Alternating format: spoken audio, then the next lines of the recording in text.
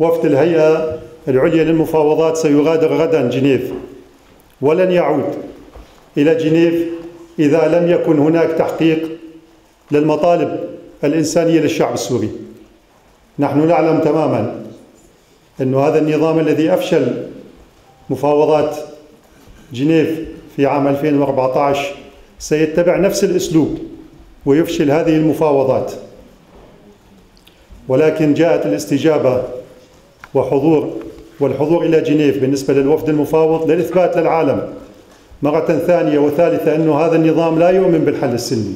لا هو ولا حلفائه الآن نحن نتحدث في 4 فبراير 2016 لهذا لغاية هذا التاريخ لم ينفذ أي شيء من هذه الالتزامات الإنسانية التي وقعت عليها الدول المعنية وخاصة روسيا كدولة دائمة العضوية في مجلس الأمن الدولي.